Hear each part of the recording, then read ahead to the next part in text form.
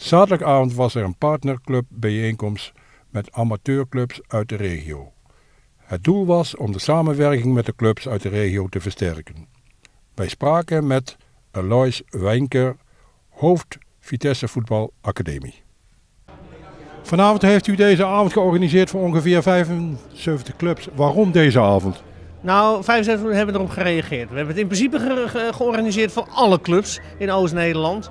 Maar ja, we hebben het gedaan vooral om, uh, om relaties om, om, om te binden met onze amateurclubs. Maar het doel is uiteindelijk om het voetbalniveau om een hoger plan te krijgen. Dat is de hoofdreden. U wilt de kwaliteit van het voetbal door middel van een samenwerking wilt u omhoog krijgen? Wij willen daar een bijdrage aan leveren, ja. Dus wij, wij willen ons daarvoor inzetten. Hoe gaat u dat doen?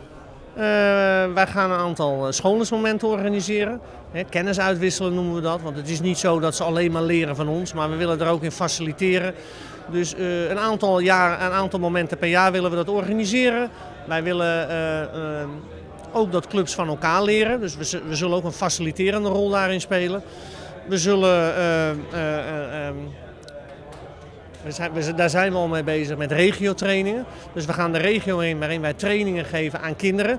Hoe groot is die regio? Uh, nou, wij, wij, grofweg zeggen wij nu ongeveer 50 kilometer. Dus, de, dus uh, trek een cirkel om, uh, om, om Arnhem heen en ongeveer 50 kilometer. Dat, dat, dat kan ook wel ietsje verder zijn, maar dat is grofweg onze regio. En we willen, deze regio willen wij nogmaals ondersteunen, voetbaltechnisch. Klopt het dat het ongeveer trainingen zijn voor de jeugd van 8 tot 14 jaar?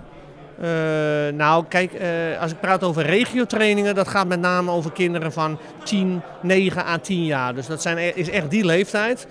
Wij zullen onze academie zijn we ook later gaan we starten. We zijn afgelopen jaar zijn we, hebben we onder 8 hebben we, uh, zijn we mee gestopt. Het komend seizoen zal dat ook voor onder 9 gelden. Dus dat betekent dat we later gaan starten op Papendal met onze academie. Maar dat betekent daaronder met die regiotrainingen ja, dat dat heel belangrijk is. En dat de, dat de amateurclubs ook een hele belangrijke rol hebben. En nogmaals, wij willen ze daarin helpen. En wanneer kunnen ze eigenlijk naar de academie? Uh, nou, nu is dat dus onder 9. Volgend jaar wordt dat onder 10.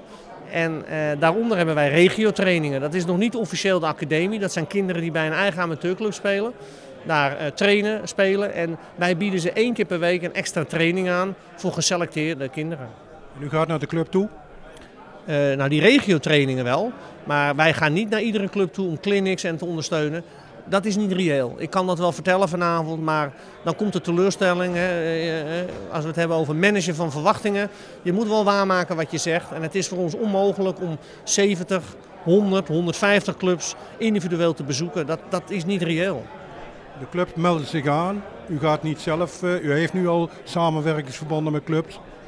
Uh, ja, nou wij hebben alle clubs hebben we aangeschreven. We hebben ze uitgenodigd voor deze avond. Dus we hebben ongeveer 300 clubs aangeschreven. Nou, daar zijn, hebben 75 clubs op gereageerd. Uh, ja, wij hopen ook dat het een sneeuwbaleffect wordt en dat daar, dat daar meer clubs denken, hé hey, wat is dat? Daar willen wij ook bij horen. Wij zullen het ook moeten bewijzen.